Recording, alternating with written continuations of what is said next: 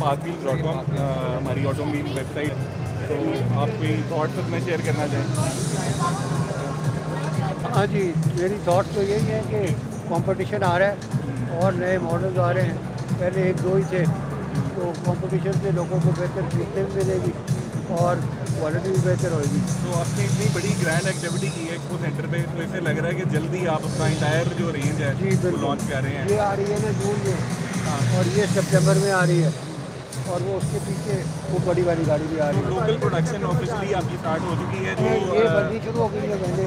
Passenger passenger ये ये वाली ठीक है और इसके बाद कुछ हमें बताएँगे लोग सेडान का इंतज़ार कर रहे हैं हैचबैक का इंतज़ार कर रहे हैं उसके बारे में। बिल्कुल ये सितंबर के करीब ये भी आ जाएगी गाड़ी। अच्छा। और इकोनॉमी सेक्टर में हैचबैक भी लेके आ रहे हैं। उसमें बहुत ज़्यादा कंपटीशन है।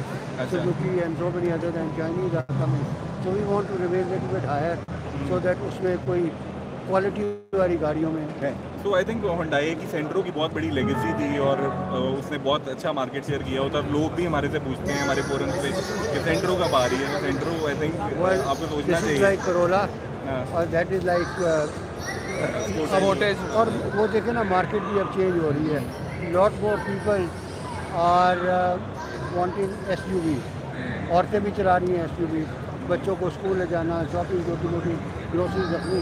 तो मार्केट है चेंज तो वो that reflect then they will be hybrid cars electric cars and even ultimately hydrogen cars which is the real future चलें thank you so much thank you